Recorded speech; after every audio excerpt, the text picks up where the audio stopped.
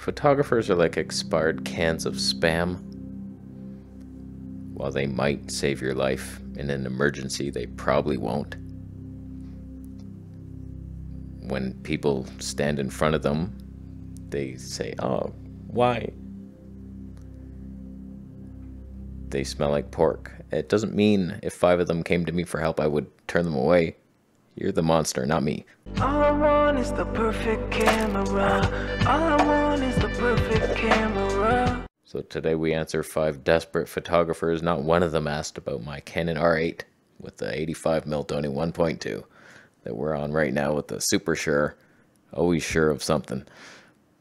Was that your question? Where does the Fuji X-T5 fit in your expectations from manufacturers? It can do both video and stills. You get the Fuji color, decent dynamic range. The X-T5 is confused. It's as if you're in primary school and you're being asked, which gender do you want to be? And the kid's like, I don't know. Can we choose? We can choose it now? I'm only four years old. Do I have the information needed for this decision? Wow, that's fun. It's strange because the X-T3 was like a photography hybrid video. It could do video, but mostly people liked it for the photography. It had a flip up screen, dials. Then the X-T4 came along and tried to be a YouTuber's version of that. Most purist photographers didn't like that because you have your dials for photos, but then a fully articulating screen.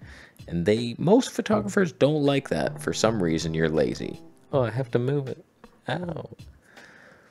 So like they went YouTuber and then they went back to remove the flippy screen. So like what are you doing? Some people bought the X-T4 thinking, okay, we're YouTuber's camera now, and then the X-T5 comes out, the upgrade, and it's worse for you. I, I go back and forth whether I want to insult a camera for the things it lacks or praise it for being plenty good enough for all of us. The X-T5 fits both descriptions. It's amazing, 40 megapixels. It's worse than the X-H2 in a lot of ways. Like the autofocus, it's not the same camera for some reason. It's not just a different body. The Nikon Z30, ZFC, and Z50 are all the same performance. Just different body shape. Not this. Same sensor, but something's different. Very different. So Fuji, I don't know, you could get by but it's not something that's on my radar. 40 megapixels, super over sharpened overkill. It can do 8K video and like 4K hydro quality super sampled. That's not what I'm going for. I'm going for higher frame rates, and that thing lacks hard in that area. So it's like way overkill for photography. It's good for that, and it does shoot nice video, but you wouldn't choose it for video. So it's an afterthought in my life, and I leave you now. I once again forgot my hair light. I should be sued by the industry. I could have been so separated from the background. These aren't how hair lights work. It highlights half my face. I don't know why, but when I saw a review from Terry, looks like DJI Pocket 3 is better than the ZVE1. Should I sell my ZVE1? I don't know, should you? Are you that dumb? To like base that entire decision on one review or what? Look, here's the reality. DJI Pocket 3, it looks fantastic and fun. Much lighter, more stable than the ZVE1, but so less versatile. I would never sell my A7S III for that. Like, okay, I'm done with that. Like, Know, there's a lot of things that could go wrong. I've made many videos about it, but just, I don't love the whole gimbal mechanism. I don't love that there's only one battery that stays in there forever. You can't change it out, so it dies one day. What are you gonna do? And frickin' no background blur control. You're always blurry. I don't like that. I like stopping my lenses down. I went out the other day with this 85mm 1.2 and I chose Tony 8. 8 Tonys because I wanted the background in. I didn't buy this to be this stupid, what I'm doing now, wide open at 1.2. I bought it because there's 3D pop, and I couldn't believe what I was witnessing. At Tony 8, just the separation and the love. So, like, you're not getting that on a DJI Pocket 3, whereas you could get Zeiss lenses for your ZVE1. So, ZVE1 sounds fantastic I almost want one, but the Canon R8 is better in every way, except for 4K 120p being missing and 240p not being there. But I have Canon Color Science and stabilization that's probably better than your stupid IBIS. So my clickbaity video DJI Pocket 3 destroys every camera. Oh my god. Is it true? Like no. But it kind of could. You could replace a lot of things with that thing. And it looks fun. But do I have one? No. Do I have a Freewell filter pack for it? Even though I don't have the camera? Yeah, I do. For some reason. I'm hoping to review it one day. We'll see. I'm not ready to pounce. Not ready yet. They, these look fantastic though. There's a mist in there. I bet you a less strong one than the official DJI one. All these NDs, circular polarizers. Wow. Let's all pick one up. Review confirmed. I need your help, brother. I currently have XT4, XT5, Fuji 150 to 600, not enjoying the results at soccer games. Who could enjoy themselves at any soccer game? That's your problem, not the lens. What would you choose for this? I can get close to pitch? The hell does that mean? What does that even mean? I've been analyzing this for the past three hours. Close to pitch. Does that mean you can get close to the pitcher in the baseball game that you're not at because you're at a stupid, dumber soccer game? I can get close to pitching. What does it mean? Oh, man. I also do occasional wildlife. Let's just pretend that's all you do. Fuji will give you not great results. I don't know, man. Like the 100 to 400 was the better lens, but it has its own problems. Fuji's not really your system for like relying on getting the shot of your kid that you're forcing to play soccer even though he doesn't want to. It's like, oh, score a goal, Timmy, just like your old man. He doesn't care about your former life in your amateur college soccer league. So, like, what are you doing? I don't know your answer. You could get by with that. What are you not happy with? Is it not sharp enough? Is the autofocus not getting you? The kid? That you're torturing? I don't know. Then go Sony. If you want better autofocus, the answer is always Sony or Canon or Nikon or Panasonic now. They don't have the lenses. If it was me, I'm leaning Panasonic G9 II with something. 100 to 400, then you can get close to pitch. You asshole. So I don't know. Leave me alone. If you want wildlife, that could be an okay setup. It's just Fuji autofocus is not reliable. They cannot detect an actual animal and stay on it for video in slow motion. Whereas Panasonic comes out like first try and it's like animal eye detect. We're perfect. Woohoo. It's like I don't know what Fuji's doing. Their engineers have no like actual glasses. They don't even wear glasses. Fuji you suck. Panasonic is better. Canon, anything would probably be better. iAnimal Detect, freaking Sony for sure. Just look elsewhere, man. Sell your stupid Fuji leather pants and move on. Hello, thanks for the test. I have a question whether, in your opinion, if you have the Mark III, is it worth switching to the OM1, or whether the differences are marginal. Olympus EM1 Mark III versus OM1.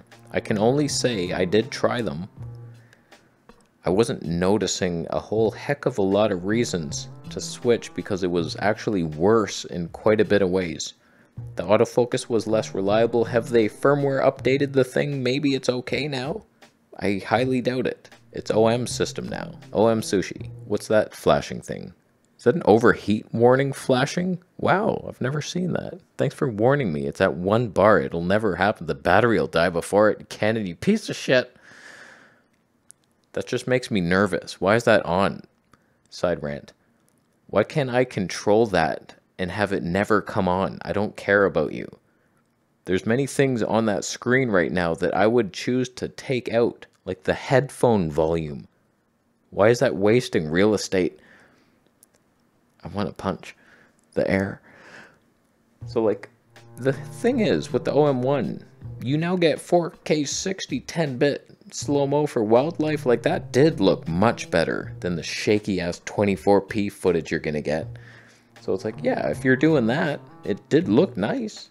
But then HD 240 is no longer 10 bit and over sharpened, and you can't control it unless you hop out of log, which you lose your dynamic range. Have fun with that in the sunshine, you freak.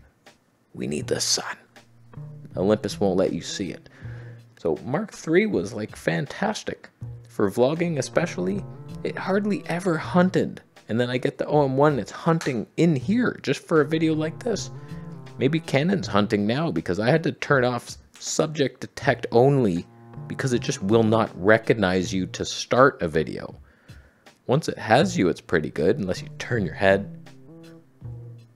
I heard something, an autofocus motor. So I don't know.